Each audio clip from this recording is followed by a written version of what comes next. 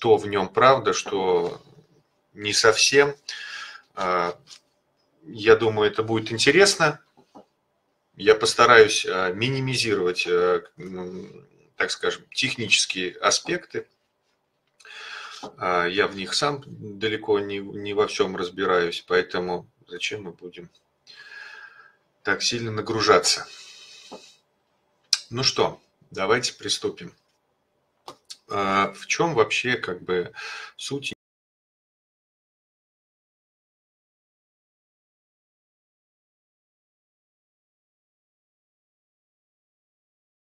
необходимость э, хорошего поиска а, в таких вот, э, как у нас, библиотечных системах, ну и не только в них. Количество книг очень большое. Одних учебников у нас а, более 60 тысяч. Это не считая различные а, ВКР и около научную литературу и так далее, и так далее. Там за 200 тысяч доходит э, различных экземпляров. Искать среди этого необходимые необходимые данные, необходимую книгу очень сложно. И обычный атрибутивный поиск не всегда может предоставить такую точную возможность для поиска. Атрибутивный поиск, э, я вот немножко сейчас углублюсь в эту тему, а он работает следующим образом. То есть он ищет по определенным атрибутам, а, которые связаны с той или иной книгой. Это такие атрибуты, как название книги, а, бип-запись, э, то есть там автор, э, год издания и другие нюансы, которые вложены в, э, в саму, так скажем, краткое, так скажем, описание той или иной книги. Больше ни на чем поиск не строится. То есть, если мы там, допустим, ищем такой, таком запрос, как органическая химия, то, естественно, атрибутивный поиск в первую очередь э, нам будет показывать учебники по органической химии, то есть где э, словосочетание искомое будет находиться желательно в самом начале названия книги и не иметь между собой каких-то других слов.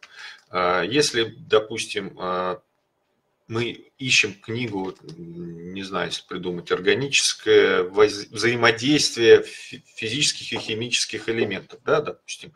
То есть органическое и химическое здесь уже э, разбито, а, имеют другое склонение, соответственно, а эта книга в атрибутивном поиске, она будет гораздо ниже, чем обычный учебник по органической химии. Вот. А Нейросеть э, в данном случае нам помогает работать э, не сколько по атрибутам, сколько по смыслу. Вот об этом сейчас мы немножко поговорим.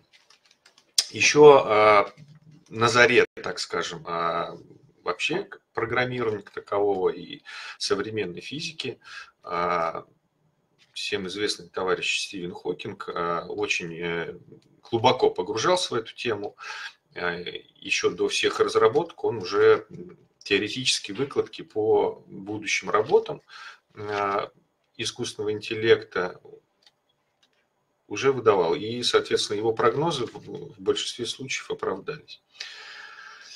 Вот одна из его интересных фраз, то, что в ближайшие сто лет компьютеры обгонят нас по интеллекту, а мы должны быть уверены в том, что когда это произойдет, цели компьютеров будут совпадать с нашими. Ну, я думаю, что он это видел немного в негативном свете, оно и понятно, но мы до этого, боюсь, еще долго э, не доживем, потому что э, уровень, уровень э, искусственного интеллекта, он пока еще крайне низок. О чем мы сегодня поговорим, так скажем, более предметно. Мы с вами поговорим, я расскажу, что такое нейросеть, а расскажу, какие задачи она должна выполнять в сфере именно поиска а, в электронных библиотечных системах. Расскажу, как это работает, какие существуют алгоритмы машинного обучения. Расскажу о преимуществах и недостатках, а, то есть э, разницу между обычным поиском и нейросетевым. Покажу примеры И в конце мы немножечко с вами пофилософствуем, поговорим вообще о искусственном интеллекте как, как таковом. Так вот, что такое нейросеть? Нейросеть – это математическая модель, созданная э, для имитации, я акцентирую слово, имитации работы человеческого мозга.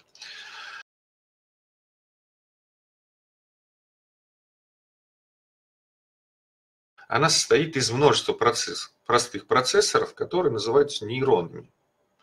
А, поэтому-то а, это и и называется интеллектом. То есть, э, по сути, ученые, э, программисты, они взяли за основу работу нашего головного мозга, который также состоит из нейронов, между которыми существуют синапсы, а, и между этими нейронами проходит информация туда и обратно э, для оптимального, так скажем, результата. Так вот, каждый нейрон может принимать входные сигналы от других нейронов, передавать входные сигналы дальше. Нейроны связаны между собой синапсами, которые могут изменять силу связи между нейронами.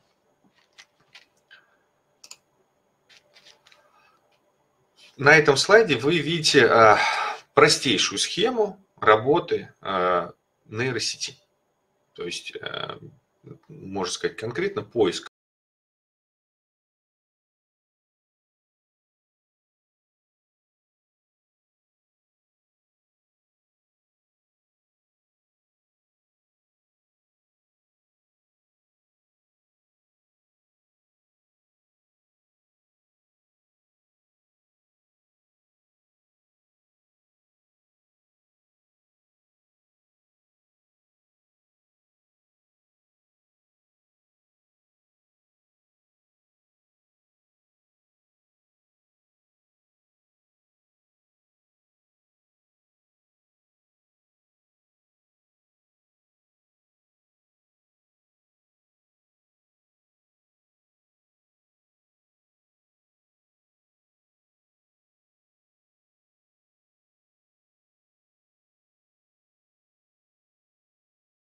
основе нейросети. То есть это метод поиска информации, который используют нейронные сети для обработки запросов и выдачи результатов.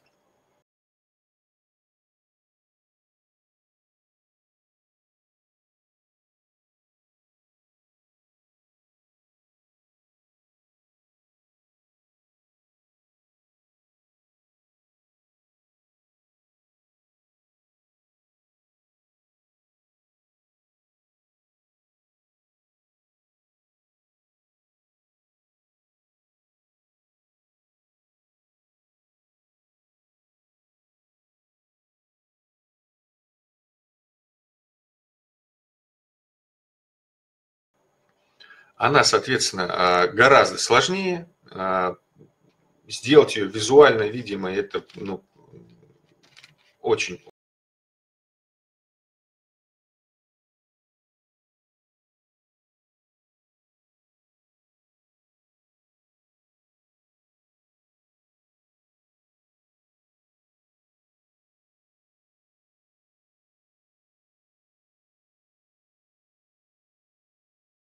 кто-то с небольшим наклоном. Так или иначе, а, особенно если мы вспомним а, почерк а,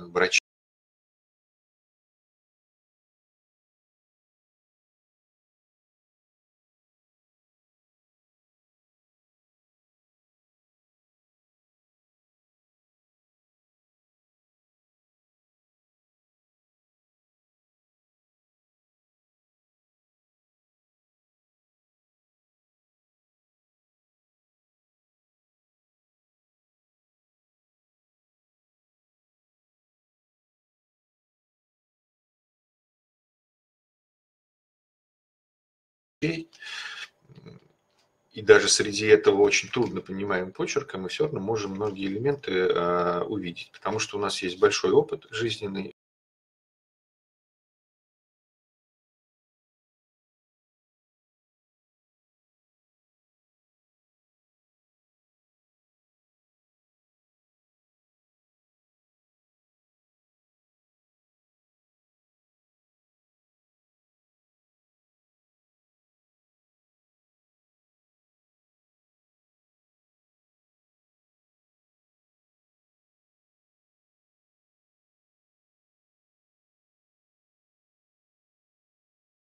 и мы этих цифр 7 видели в очень-очень большом количестве.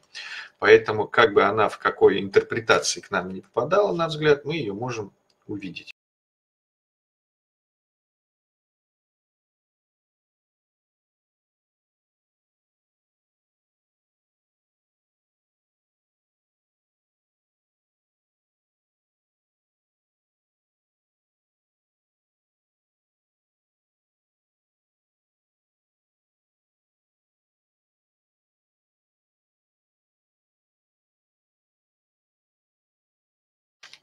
Определить. Для, соответственно, искусственного интеллекта а, такого времени на опыт жизненный у него нет. И для этого, чтобы он мог в любой а, в любом случае, то есть в любой книге, там, в печатном тексте, в, в рукописном тексте, в картинке, ли, а обнаружить цифру 7 и определить, что это и есть эта цифра, нужно ему, так скажем, скормить а, тысячи этих э, разных э, видов э, написания этой цифры. И только в этом случае он, соответственно, определит ее правильно. Если ему дать там, как вам кажется, вы вроде бы выдали там все варианты, там 10 раз написали цифру 7 разными способами. Но в итоге, когда он встретит 11 вид, он его не обнаружит, посчитает, что это совершенно другой символ. Вот таким вот образом а, так скажем, в упрощенном варианте обучаются а, нейросети. Как я и говорил, да, пользователи ну, часто сталкиваются с проблемой поиска нужной информации, а, допустим, в нашей электронной библиотеке, потому что, ну, во-первых, очень большой объем а, книг, во-вторых, далеко не всегда пользователю необходима какая-то вот, э, он знает конкретное название учебника или какой-нибудь там работы научной, а ему необходимо что-то около этого, либо он еще не до конца, а, например, запомнил полное название учебника. Вот. И из-за этого результаты обычного поиска могут быть неполными или неточными из-за этой неправильной интерпретации тех ключевых слов, по которым он, соответственно, ищет. Вот. И тематический поиск на основе нейросети а, решает эту проблему, используя э, свою эту нейросеть для анализа запроса. Как и говорил, это, она обучается на большом объеме данных, и когда там, студент, например, вводит запрос, то нейронная сеть анализирует его и выдает список наиболее релевантных, по ее мнению, э, учебных материалов.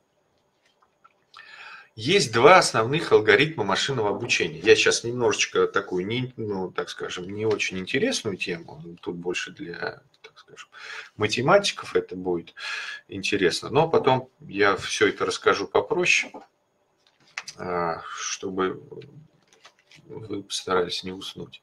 Так вот, а, нейронная сеть а, обучается на большом объеме данных. Обучение происходит с помощью вот этих двух основных алгоритмов э, машинного обучения. Это обратное распространение ошибки и градиентный спуск. Эти алгоритмы позволяют нейронной сети находить оптимальные веса связи между нейронами, то есть между э, вот этими маленькими кусочками данных, которые, из которых она собирает э, итоговый ответ. Это необходимо для того, чтобы минимизировать ошибку на обучающих данных. Первый алгоритм, который используется, это обратное распространение ошибки. Этот метод обучения нейронных сетей используется для минимизации ошибки на обучающих данных. То есть не в момент э, работы уже с пользователем, а еще до этого, когда нейросеть обучается. Это очень важный, э, основополагающий процесс э, для искусственного интеллекта – это обучение на массиве данных. Так вот, он работает путем распространения сигналов ошибки от выхода в сети к ее входам и обновления весов нейронов таким образом, чтобы уменьшить эту ошибку.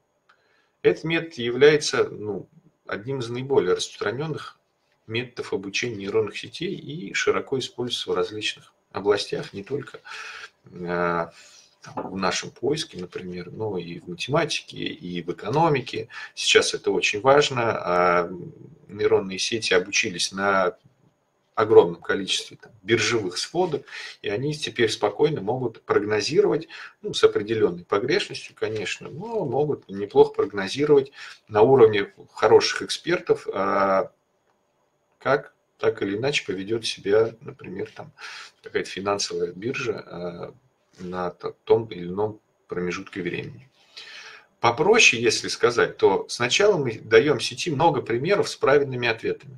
Затем мы проверяем, как хорошо сеть отвечает на эти примеры. Если ответы неправильные, мы меняем веса связи между нейронами так, чтобы ответы стали лучше. Мы повторяем этот процесс много раз, пока ответы не станут достаточно хорошими. Еще проще сказать, это, например, как э, там, ученик в школе, он знает ответ на задачу, и пытается подогнать условия задачи таким образом, чтобы этот ответ и получился. То есть э, мы, допустим, как обучали там нашу э, по этому методу нейронную сеть для поиска. Э, та же самый там запрос там, органическая химия. Мы по этому запросу показали нейросети правильные ответы. Вот 10 учебников, которые точно на 100% отвечают на этот вопрос. Вот э, еще 10 учебников, которые на 90% отвечают, вот там на 80%. В итоге э, формируется внутри э, этих нейронов определенный алгоритм, который знает правильный ответ и уже ваш запрос пытается подгонять под него. Это первый метод и есть метод градиентный спуск. Они идут как бы друг за другом. Это метод оптимизации, который используется для нахождения локального минимума или максимума функции. Попроще это так. Мы начинаем с какого-то значения и смотрим, в какую сторону нам нужно двигаться, чтобы улучшить решение. Затем мы делаем шаг в эту сторону и смотрим, стало ли лучше. Если стало, то мы делаем еще шаг. Если нет, то мы делаем шаг в другую сторону. И так мы продолжаем, пока не найдем наилучшее решение. И градиентный спуск используется в разных областях, например, математики или обработки больших данных. Самый простой пример – это, допустим, вы э, потеряли кошелек в лесу. Вы знаете, что вы его потеряли. Где конкретно вы его потеряли, вы не знаете. Соответственно, вы начнете прочесывать весь лес от начала до конца, это бесконечное время, и вы, соответственно, не добьетесь результата только в случае какой-то ну, такой очень редкой случайности. А градиентный спуск – это когда вы примерно знаете, в каком месте вы его потеряли. Вы будете действовать по какому алгоритму? Вы сначала очень быстро будете двигаться в в ту область, а, где примерно вы знаете, что его потеряли быстро. Но чем ближе вы будете к этому подходить, тем будете двигаться медленнее и уже будете внимательнее осматривать местность, пока, соответственно, не, найдете а, искомый предмет. Вот то же самое, это вот работа градиентного спуска в, в алгоритме нейросети. А, примерный ответ она уже знает, получив его из э, первого метода обратного распространения ошибки, то есть мы ей показали какой вот результат э, считается правильным. И уже э, приближаясь жирным нарисовано, там, например, красным цветом, но на границе между э, чернилами и бумагой это будет небольшой градиент. То есть будет от красного переходить в белый. То есть светло-красный,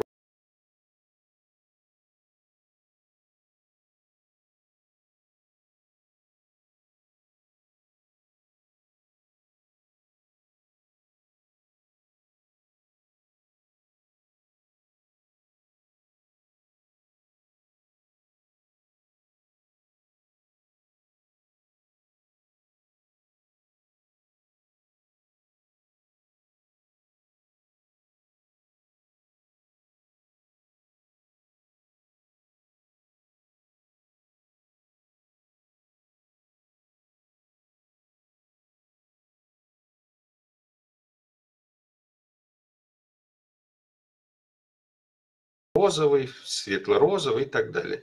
Вот вот эти вот градиенты, они, соответственно, эти точки этого градиента, они будут иметь вес между нулем и единицей. Чем ближе к красному, тем будет ближе к единице. Соответственно, когда нейросеть будет анализировать запрос, она будет стараться найти результаты, которые будут ближе к единице. Если, соответственно, она единицу не находит, она будет брать то, что ближе, 0,9.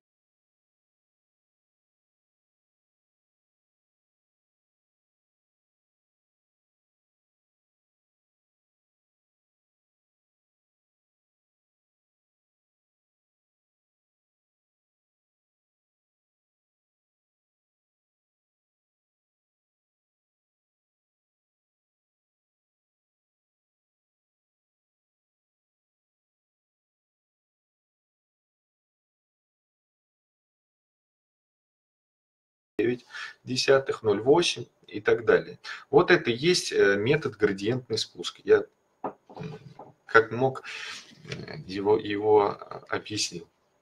Вот. вот таким вот образом а, нейросети, любые сейчас нейросети и работают. Те, которые а, пишут тексты, те, которые рисуют картинки, сейчас сочиняют музыку а, и так далее, они все работают примерно по этой схеме. То есть э, вы видели уже давно, как э, там, нейросети э, рисуют картинки. Вот. Поначалу они были очень, по ним было видно, что это нарисовано не человеком. Сейчас все сложнее и сложнее их отличить. Вот. И, соответственно, это происходило на таком же уровне обучения. То есть, например, а, задавался и э, нейросети запрос «нарисуй мне человека». А она берет из, из интернета все данные, как выглядит человек, так или иначе. Но, опять же, а, ей, ее учили, показали. Вот 10 картинок, вот так выглядит человек. На основе него она что-то может нарисовать приблизительно. Если ей дать тысячу картинок, это будет более точнее. После того, как она, вроде бы зная ответ, она начинает к нему подбираться. Поэтому, если вы обратите внимание, в большинстве случаев отличить э, картинки нейросети очень легко, особенно если там нарисован человек, посмотрите на количество пальцев. Почему-то нейросеть до сих пор не может выучить точно, сколько должно быть пальцев у человека. В целом все похоже, а вот пальцев может быть от трех и до бесконечности. Это как бы один из таких вот примеров, потому что в процессе она, естественно, и это научится. То есть это более тонкая настройка. Теперь давайте, ну, давайте так мы, а, если я более-менее понятно все а, рассказал на этом этапе, нажмите, пожалуйста, огонечек, я посмотрю на вашу реакцию. Ага. Хорошо. Вот, э, да, отвечу на комментарий, что при этом самой сети можно дать поручение о количестве пальцев. К сожалению, это так не работает. Для этого надо научить э, систему, чтобы она знала, что такое пальцы, где они находятся, как они идут друг за другом. То есть, понимаете, это не просто, надо сказать, 5 пальцев. Он может друг за другом 5 пальцев поставить, это будет один длинный палец, состоящий из пяти. Тоже неправильно будет.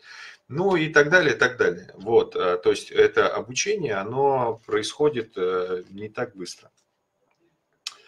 Так вот, преимущества и недостатки нейросетевого поиска. А поиск на основе нейросети имеет ряд преимуществ перед традиционными методами поиска он может учитывать контекст запроса, что позволяет получать более точные результаты.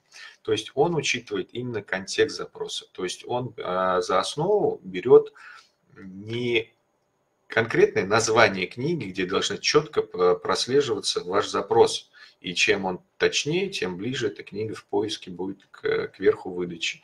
Нет, он уже анализирует а, именно контекст.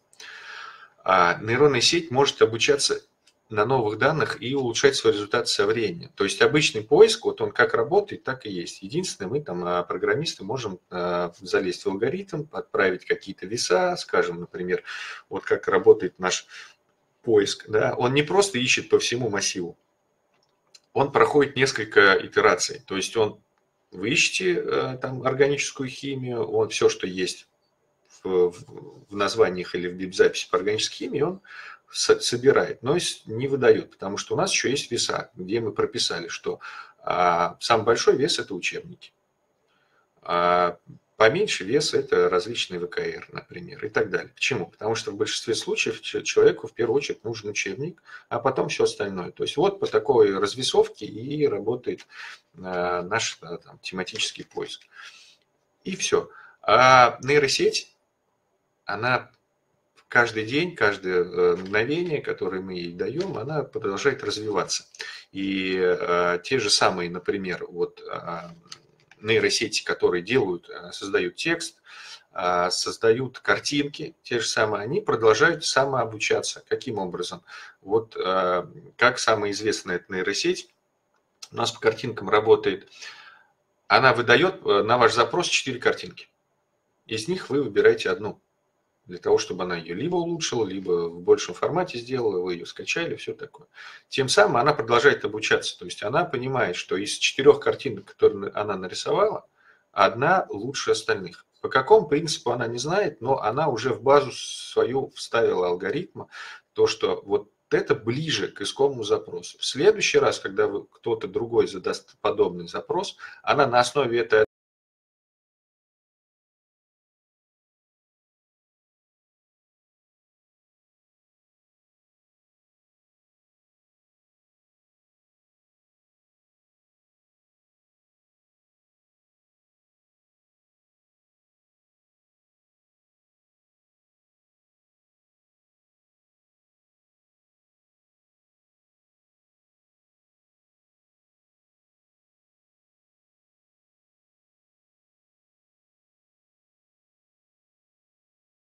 из четырех картинок сделать еще четыре картинки. То есть произойдет что? Произойдет уточнение. Вот это и есть обучение нейросети, которое, по идее, бесконечно.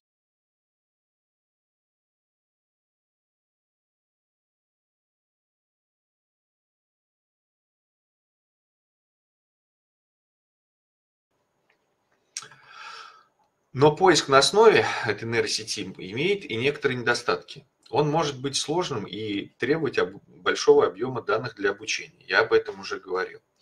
Кроме того, результаты работы могут быть непредсказуемы и зависеть от качества данных. Таким образом, а, поиск на основе нейросети имеет как а, положительные стороны преимущества, так и свои недостатки, которые, соответственно, следует учитывать при выборе метода поиска информации. Для этого у нас как раз э, в нашей системе и два поиска работают одновременно. Вы можете переключаться между ними. Если а, в каком-то вы что-то не нашли, можно посмотреть, попробовать там с помощью нейросети. Вот сейчас я вам покажу примеры. Пару примеров всего накидал, вы можете сами а, после авторизации это дело посмотреть. Вот, а еще такой вот э, тонкий момент. Обычным поиском атрибутивным очень хорошо ищется конкретный короткий запрос. Как я уже и говорил, это тот же самый там органическая химия. Но если вам необходим какой-то длинный большой запрос, который, ну, точно не может являться названием для учебника, вот здесь вот уже обычный поиск начинает, а, так скажем, страдать. А нейросеть может очень неплохо помочь. Вот запрос такой нелогичный, но интересный. Особенности применения коэффициента, который мы выставляем в обычном поиске, где сначала идут э, учебники и по градации ниже, но, опять же, очень близко к искомому, что и требовалось доказать, что мы и хотели и найти. Вот э, таким образом э, она и работает, это, это нейросеть. И в, не только, опять же, в поиске, но и во многих-многих вещах, которых и она сейчас используется, и она про проходит э, дальше. И, и я думаю, с ближайшим будущем ее использование будет повсеместно. Еще раз о разнице между этими двумя подходами. То есть обычный поиск, он нацелен на поиск конкретной литературы.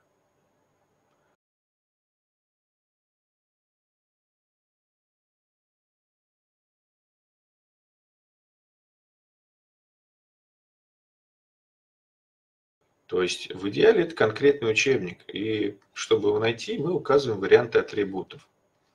А вот в качестве подбора по теме он может быть использован только тогда, когда мы можем формализовать описание этой темы. Поэтому он в первую очередь ориентируется на название. Оперирует атрибутик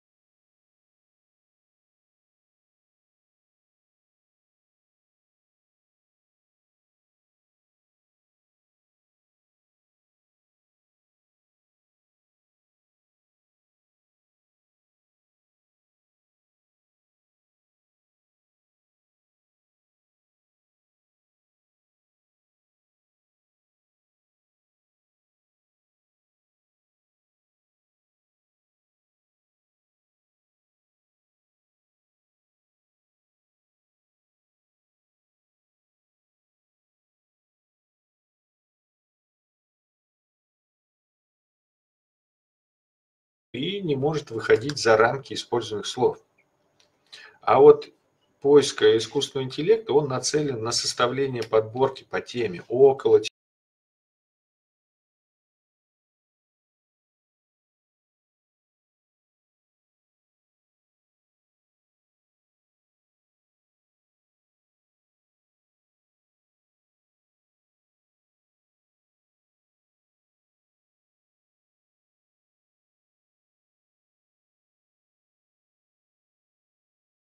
тематичной, что-то вот то, что а, может относиться к теме вашего запроса. Не обязательно точно по названию.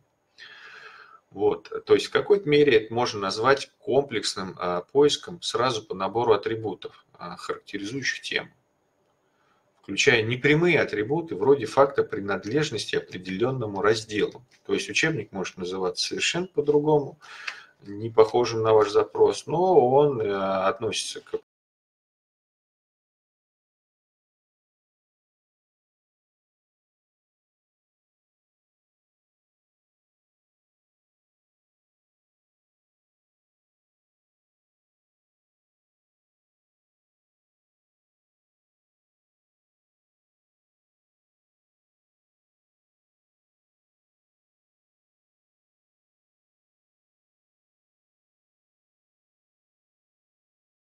Сейчас мы уже начинаем потихоньку пожинать плоды а, слишком быстрого массового распространения работы с нейросетями. А, к примеру, недавно была новость, а, компания Google анализировала результаты своего поиска и сказала, что за последний год качество контента в интернете оно очень сильно ухудшилось, потому что люди стали использовать нейросеть для написания обычных текстов.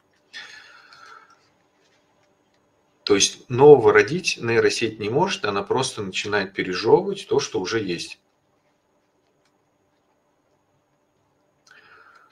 Тут вот пишет, нейросеть может сгенерировать гипотезу, которая может привести к новому знанию. А, она может привести, сгенерировать гипотезу, основываясь на уже существующих гипотезах. Да, естественно, может такое произойти, что это некое новое знание, но это произойдет просто в качестве а, случайной выборки.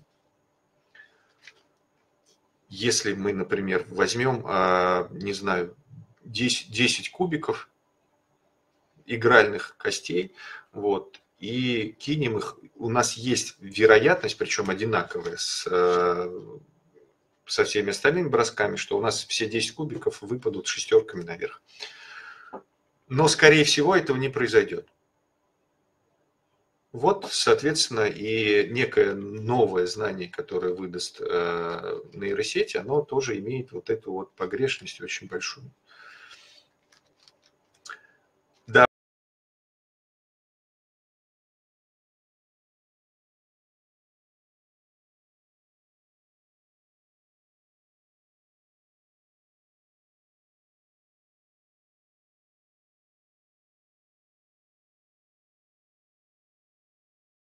Вот пишут, что работа с текстом, да, удручает качество текстовых материалов. Да, а, сколько и я не пробовал а, с ними работать, а, качество, так скажем, очень низкое. Если написать текст, как, не знаю, там, выбрать э, дрель, то искусственный интеллект ее напишет. И в целом она будет выглядеть очень неплохо, может быть, даже вам поможет ее выбрать но во многих других областях эта простота, она не дает возможности а, для развития. Тексты становятся короче, а информация в них не разнообразна. А без влияния человека на производство нейросеть ничего нового сделать не может. Поэтому нужно относиться к ней исключительно как хорошему инструменту. Все разговоры о том, что она заменит человека, что она там а, осознает себя и произойдет э, восстание машин, э, и там терминатор к нам прилетит, они как бы так и остаются в области э, фантастики, не всегда научной. Вот. Поэтому а, относиться надо к этому как к инструменту, а к хорошим, а, ну, инструмент дает хороший результат, только если с ним а, правильно обращаться. Уметь с ним обращаться. Пока мы его а, используем как а, маленькие дети, которые получили какую-то неведомую игрушку, и она очень сильно распространилась. Вот опять же, к примеру, о тех текстах и результатах поиска Гугла, которые очень начинают удручать. Например, вы можете сейчас заметить, э, не всегда вы можете отличить нормальный э, текст человеческий от э, написанного машинного, но вы наверняка уже замечаете, что если вы ищете какую-то информацию, не знаю, там, как выбрать там, велосипед себе, то в 99 случаях уже примерно одинаковая банальщина, которая повторяет друг друга абсолютно на разных сайтах. Это и есть вот этот минус э, искусственного интеллекта, с которым еще нам предстоит бороться. Так, вот пишут, что и есть размышление, что и убьет средний класс, оставив творцов, которые смогут развить гипотезу до новых знаний и останутся рабочие. Мне кажется, наоборот. А, искусственный интеллект заменит а, не средний класс, а заменит больше, наверное, те а, виды работ, которые а, не требуют ни знаний, ни опыта. А, и он просто нам позволяет меньше тратить время на обычные, так скажем, простейшие дела. Вот э, в чем я вижу суть работы и необходимости нейросети. Так, мне вот тут спрашивают, на вопросы будете отвечать? Дайте я сейчас зайду на вопросы. В чем разница между семантическим поиском и поиском с помощью нейросетей? Но, а, опять же, как я уже объяснял, а, нейросеть, она берет за основу весь контекст например, э, массовый контекст э, той или иной книги. А семантический поиск, он ищет исключительно по семантике, а, к которой относится тот или иной учебник. А, мы можем выставить для каждого учебника свои ключевые слова, и по ним будет поиск обычно искать. Нейросеть старается посмотреть как бы на общую картину, то есть сам учебник может быть ни по названию, ни по ключевым словам не подходить под ваш запрос. Но от, э, он может быть по вашей теме, потому что нейросеть где-то несколько раз видела, допустим, ее обучили, что вот э, как можно обучить студент, например, или преподаватель, да, готовиться э, к какому-нибудь там э, семинару по определенной теме. И он под этот семинар взял несколько книг, несколько учебников, которые точно по этой теме, и пару книг, которые, а, по его мнению, а, являются а, близкими. хотя не имеют в названии, в своих и атрибутах, в своей семантике не имеют этого запроса. И нейросеть это увидев, например, выставляет вес, и в следующий раз по этому запросу она эти учебники тоже подвержет. Может быть, не на первое место, а может быть пониже, но опять же будет. Семантика таким образом не сработает, потому что она все равно будет смотреть и анализировать каждый из этих учебников. Не в контексте какой-то работы там, а, а именно каждый по отдельности. Так, языковая модель, которая используется в нашем подходе. А это уже мы оставим такие э, вопросы на следующие семинары, может быть, мы будем что-то более подробно рассказывать об этом. Сейчас давайте, так скажем, в общем контексте. Можете дать сжатые комментарии по правилам формирования правильного фронта. Во-первых, надо разбираться в теме. Если вы э, задаете э, нейросети задачу что-либо написать, то все равно в этом надо разбираться. И, к сожалению, приходится все очень много перепроверять. У нас э, был такой момент, мы э, хотели попробовать написать э, описание авторов по некоторым книгам. Было недостаточное количество этих описаний и решили мучить нейросеть. В итоге ну, итоговый текст вполне себе. Э, ты его читаешь, да, там, родился, чем-то занимался, вот такие книжки написал, вот э, там-то участвовал, все остальное. А если бы я не знал об этом авторе, я бы спокойно бы сказал, да, неплохо. Но, зная его биографию, я понимаю, что э, нейросеть написала полную дичь просто скомпилировав какие-то факты, какие-то придумки, более-менее логично это составив, в итоге а, выпускать такой текст ну, абсолютно нельзя. Большинство на это не смотрит. А, составители контента для различных интернет-магазинов в особенности, у них их там сотни тысяч позиций, и им проверять описание каждого там а, холодильника и так далее неинтересно.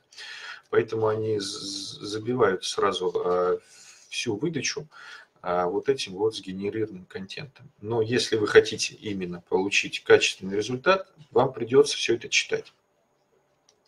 Еще раз говорю, это инструмент, это не а, итог, а, это не самостоятельный, так скажем, процесс. Он поможет вам сократить по времени. Вам нужно там подготовить текст по там, какой-нибудь теме. Он вам его напишет. И большинство вещей они будут вполне сильно итог по тому, что у нас есть. То есть вот наш есть весь массив данных, наши книги, да, наши учебники и так далее. Соответственно, внутри них она и обучается. А, если там что-то ей дать, то, чего нет у нас, но она на этом будет обучаться, то результат будет гораздо хуже. Так, ну что, на сегодня все. Если есть еще какие-то вопросы, а, я готов а, на них ответить. Вот тут пишут, будет здорово, используйте ИИ для заполнения кучи громоздких таблиц по научным отчетам и прочее. Опять же, да, но он может ошибиться а в какой из кучи громоздких таблиц он ошибся, а в каком именно месте, вы этого не узнаете. Пока кто-то не обнаружит вашу ошибку, и окажется, что вся работа была неверна. Как нейросети проверяют истинность своих черновиков? Это мы их проверяем. Как я уже говорил, по первому методу распространения ошибки мы ей говорим о нейросети правильный ответ – и она сравнивает свою выдачу с правильным ответом. То есть, опять же, а, человек задает э, основу. Так, иногда описание контекста со всеми условиями превышало итоговый текст, созданный нейросетью из личного опыта. Есть нейросети, которые стараются проверять данные и только при отсутствии информации начинают создавать. Но приблизительно, да, приблизительно так это и работает. Но в некоторых случаях э, нейросеть, она, можно сказать, не хочет обучаться. А, то есть, если это не входит в ее алгоритм, а, я вот просто расскажу пример. Это вот, а, когда как раз появился чат GPT, уже третья версия пошла, ради интереса мы ее мучили, смотрели, как что работает вот, частично разворачивали у себя там. А, так вот, такой пример. Я пытался э, от нее получить элементарный стих, четверостишье. Просто сказал, напиши вот э, четверостишье на такую-то тему. Там, самую простую. Вот. Не может нейросеть этого сделать. А, то есть она знает, что такое четверостишие. Я у нее спросил, что такое стихотворение. Она знает. Как формирует стихотворение? Она знает. Ну, то есть она не знает, она берет просто текст откуда-то, ну, компилирует его, что стихотворение – это некая форма, имеющая там э, такое-то количество строк, одинакового а, там, размера, а, рифма и так далее. Но сделать в размеры в рифму она не может, потому что она не понимает, как это делается. То есть, обладая, по идее, всей информацией, она по итогу э, элементарные вроде бы вещи, а срифмовать там палка-скакалка, она не может. Потому что э, до нее, ее надо этому обучить, а после не знаю скольких итераций мы не смогли этого сделать. Тут что-то гораздо сложнее. Ну и последний вопрос отвечу. И